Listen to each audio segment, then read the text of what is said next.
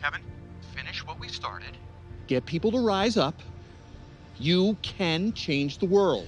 Yeah, man, but, uh, you know, there, there's a bunch of students in here. Yes. Studying to control the rest of us with their money. Now, let go of the clamp, Kevin. Be a hero. Professor! I'm gonna need you to put that phone down. Don't do it, Kevin. Don't. do Hey, don't. shut up! You shut up and back up!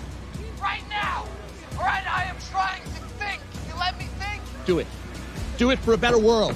Come on down. Come on down. You'll be brought in nice and peacefully. Your word means nothing to me. I'm all talked out.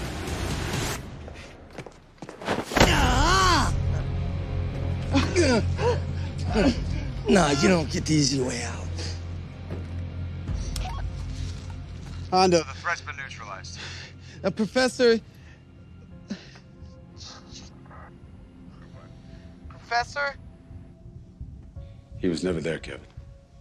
Not really. I know that's hard for you to hear. No, you don't know me at all, man.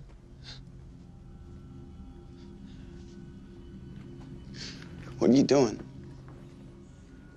I know no one in that office building died today. Because you called in a bomb threat. Kevin, you saved lives. You didn't take them. Yeah, because, you know, I just. You know, I just, I just want to matter. I just want things to get better. I mean, that, that's why we built this thing.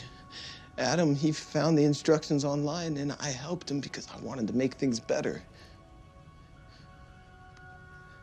You know, isn't it better to die for something than to ignore reality? No, no, Kevin. It's better to live for something. You got humanity in you. I can see it. And I know you see the humanity in these kids.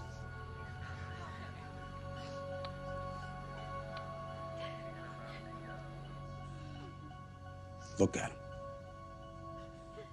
Look at him.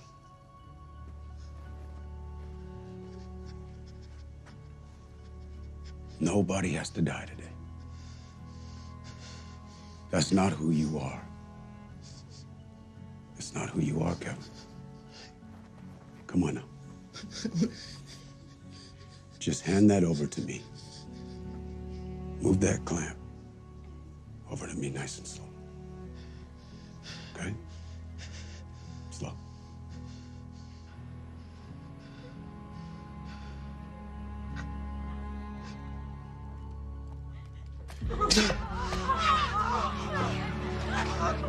I'm so sorry. I'm, I'm sorry. I'm so sorry.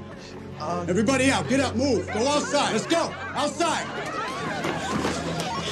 Send in the bomb techs. Send them in! All right, go, go!